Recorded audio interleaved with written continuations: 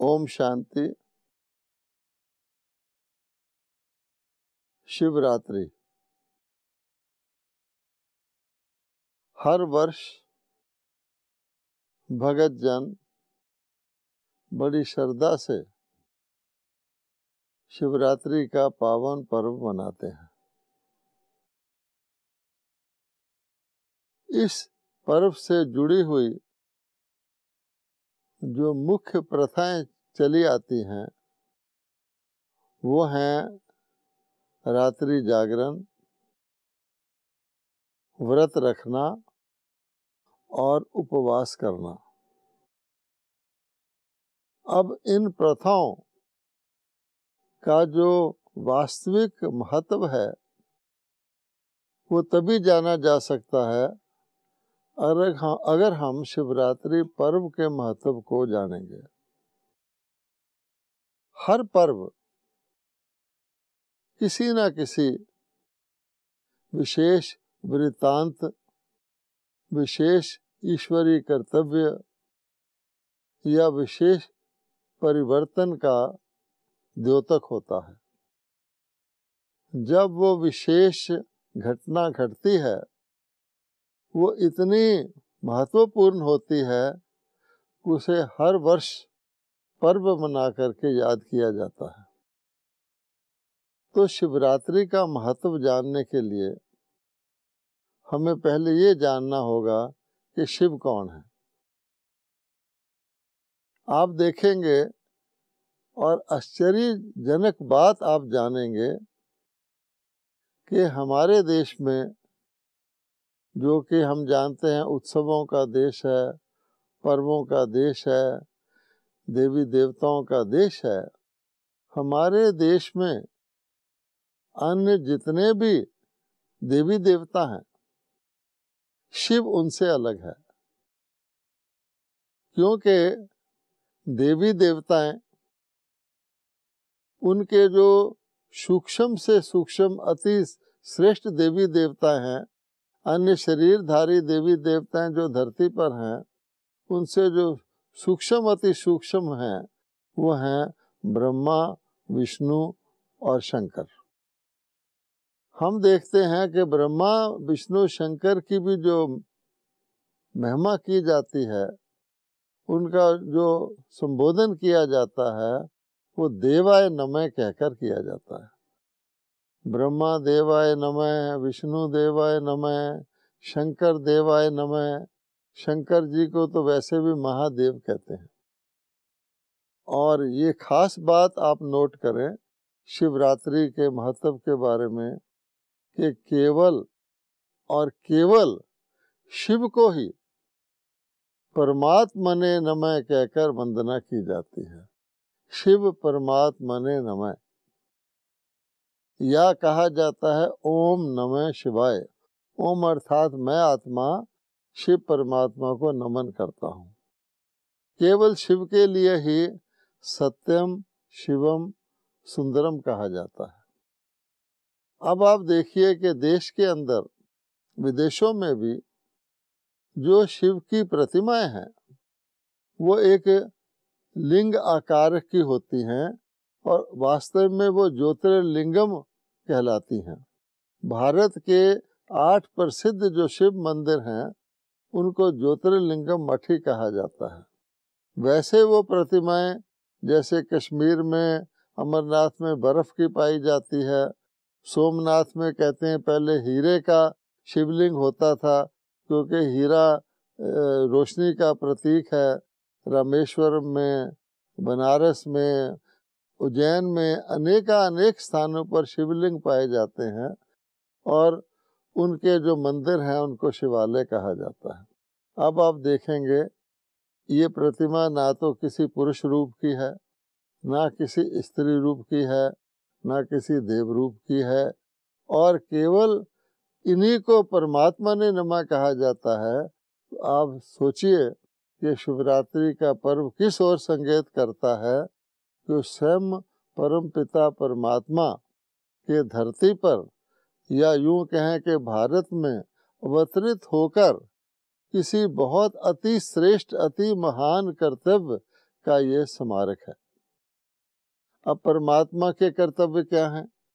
तो हम जानते हैं कि परम, परमात्मा के तीन कर्तव्य गाए जाते हैं, स्थापना, पालना और विनाश। ब्रह्मा जी के द्वारा नई सृष्टि की स्थापना, विष्णु जी के दो रूपों श्री लक्ष्मी श्री नारायण के द्वारा नई सृष्टि की पालना और शंकर जी के द्वारा प्राणी सृष्टि का विनाश। अब इसमें भी जो दो महत्वपूर्ण कार्य हैं, वो हैं नई सृष्टि की स्थापना और पुरानी सृष्टि का विनाश। अर्थात सारे विश्व का परिवर्तन। तो देखा जाए तो ये शिवरात्रि का जो उत्सव है, ये सारे विश्व से कनेक्टेड है। क्योंकि सारे विश्व में ही परमात्मा सारे विश्व के पिता हैं।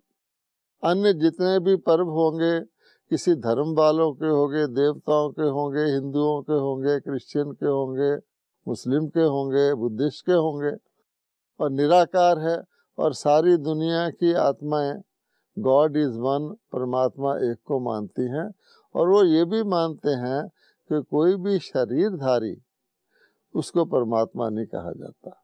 अब आगे चले तो ये पाएँगे कि स्थापना और विनाश का कर्तव्य परमात्मा किस समय करते हैं। अगर परमात्मा को बीज के रूप, बीज से उपमा दी जाए कि परमात्मा मनुष्य सृष्टि के बीज रूप हैं जैसे एक वृक्ष का बीज होता है तो बीज तब निकलता है जब पुराना वृक्ष पुराना हो जाता है और नए वृक्ष को आरंभ करने का समय होता है। तो परमपिता, परमात्मा भी ये जो कर्तव्य करते हैं, इनका एक खास समय है, क्योंकि स्थापना का एक समय होता है जिसको आदिकाल कहते हैं, विनाश का एक समय होता है जिसको अंतकाल कहते हैं। और भगवानों वाच्य है कि मैं ही सृष्टि का आदि कर, आदि करता हूँ, मैं ही इसका अंत करता हूँ। तो नेचुरली स्वाभाविक तौर पे पुरानी सृष्टि का ही परमात्मा विनाश कराएँगे और नई सृष्टि की ही स्थापना कराएँगे, जिसका अर्थ ये निकला कि जब सृष्टि पुरानी हो जाती है, उसका पुनः परिवर्तन करना होता है, नव निर्माण करना होता है, उसकी पुनर्स्थापना करनी होती है वो समय खास समय है परमात्मा के धरती पर अवतरित होकर कर्म करने का। अगर इसको भगवानोवाच गीता के महावाक्यों से जोड़ा जाए तो आप पाएँगे, कि भगवान ने कहा है कि जब धर्म की अति ग्लानी हो जाती है, पाप का घड़ा भर जाता है, मानव मूल्यों का हरास हो जाता है, सृष्टि पूरी तरह से पतित प्राणी कलजुगी और तमो प्रधान बन जाती है मनुष्य सदा ही दुखी रहते हैं, तनाव में रहते हैं, भय में रहते हैं, वो समय होता है अति धर्म ग्लानी का, जब मैं परमात्मा अवतरित होकर के पुनः जो धर्म की अच्छी तरह से पुनः स्थापना करता हूँ और उसके साथ साथ सृष्टि पावन बनती है, नई बनती है, सतयुगी बनती है और स्वर्णिम बनती है। अब आप देखिए कि नई सृष्टि की स्थापना और पुरानी सृष्टि का विनाश, ये तो सारे विश्व के जितने भी अन्य वृतांत हुए हैं, उनमें सर्व महत्वपूर्ण वृतांत है। पूरा ही विश्व परिवर्तन।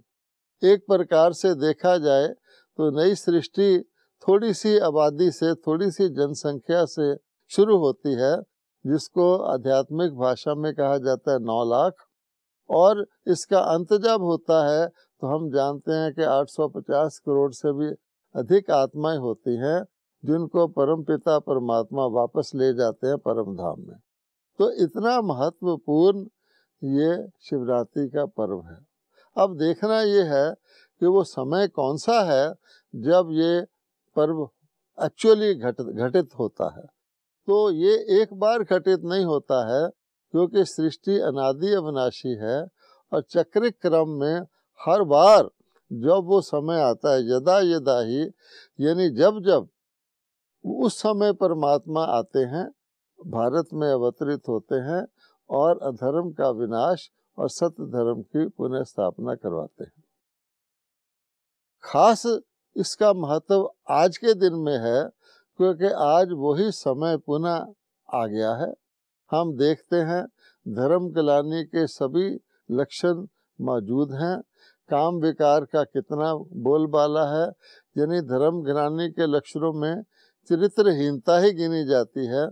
तो काम महाशत्रु, जो भगवानोवाच है कि सबसे बड़ा काम विकार है, आज नारी जाति का तिरस्कार, भारत जैसे देश में काम विकार की तो आग लगी हुई है।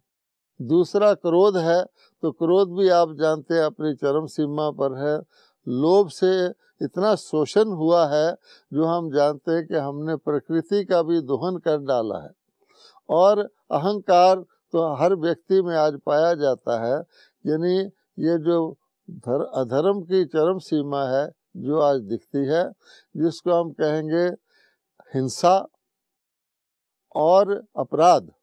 ये दोनों भी चरम सीमा पर हैं। हिंसा के ही रूप भगवत गीता में भगवानुवाच है कि काम, क्रोध, लोभ, नरक के द्वार हैं। तो यही हिंसा के रूप हैं। तो अब इससे स्पष्ट है कि शिवरात्रि की पुनरावृत्ति, इस पर इस वृत्तांत की पुनरावृत्ति का समय, वर्तमान समय हम चल रहा देखते हैं। एक तरफ़ परमाणु शस्त्रों के द्वारा प्राणी सृष्टि के विनाश की पूरी तैयारी हुई हुई है, वो शस्त्र रिफाइन हो रहे हैं। प्रकृति जो है, उसके अंदर इतनी तमो प्रधानता आ गई है कि जल, वायु, धरती, हर चीज़ के अंदर पोल्यूशन है। मानव के अंदर आप देखेंगे कि जीवन जीने लायक नहीं रहा है। हर व्यक्ति तनाव, भय, चिंता, असंतुष्टता अनसर्टेनिटी अनिश्चितता इत्यादि से पीड़ित है।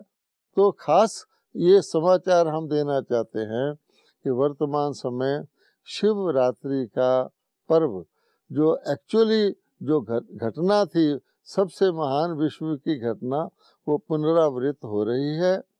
और एक बात इससे नोट करने की ये है कि जो भगवान ने कर्तव्य किया था, उसका यादगार भी भगवान वाच के श्रीमद् भगवत गीता शास्त्र में है।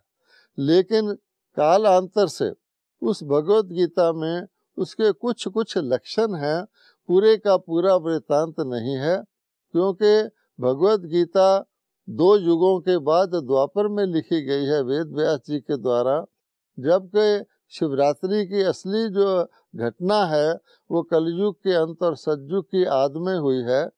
क्योंकि कलयुग ही अति तमो प्रधान धर्म गिलानी का युग है और सतयुग ही धर्म की श्रेष्ठता का हिंसा परमो धर्म का युग है। कहा जाता है कि भारत में सतयुग में शेर और गाय एक हाथ जल पीते थे, दूध, घी की नदियाँ बहती थी, भारत सोने की चिड़िया था, भारत ही विश्व था, क्योंकि भारत के श्री लक्ष्मी, श्री नारायण विश्व महाराजन, विश्व महारानी थे।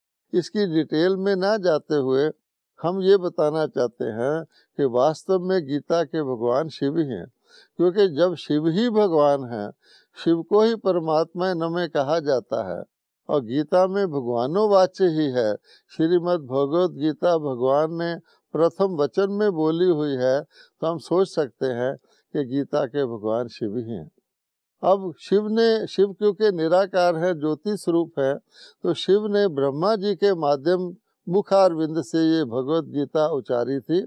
और वास्तव में कलयुगी एक सामान्य व्यक्ति के शरीर रूपी रथ में प्रवेश करके उन्हीं का नाम शिव परमात्मा ने ब्रह्मा रखा था और उन, उनके मुखारविंद से जो भगवान ने महावाक्य उचारे नई दुनिया की स्थापना के लिए, मनुष्य को देवता बनाने के लिए जिसमें आत्मा का ज्ञान है, जिसमें अन्न की शुद्धि का ज्ञान है, जिसमें काम महाशत्रु और क्रोध को जीतने के व्रत का ज्ञान है तो आप देखेंगे कि वो जो जागरण का ज़िक्र आता है शिवरात्रि के दिन, वो एक दिन का जागरण नहीं है, वो अज्ञान अंधकार की निंद्रा से जागरण का है, जो कलयुगी तमो प्रधान रात्रि है।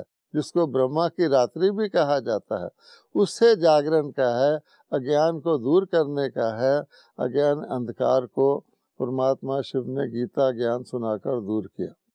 और जो व्रत की ज़िक्र आता है, वो परमात्मा ने मनुष्य आत्माओं को कहा कि अगर नई सतयुगी दुनिया में आना है, क्योंकि थोड़ी सी आत्माएँ गीता ज्ञान सुनकर भगवान का मनुष्य से देवता बनती हैं तो आपको काम विकार को जीतने का व्रत रखना पड़ेगा। शिवरात्रि के दिन आज भी लोग जो है भगत जन जो है, वो काम विकार, विषय विकार से एक दिन के लिए परहेज करते हैं। और इसी प्रकार से अन्न की शुद्धि, वो तो उपवास करते हैं कि अन्न खाओ ही नहीं।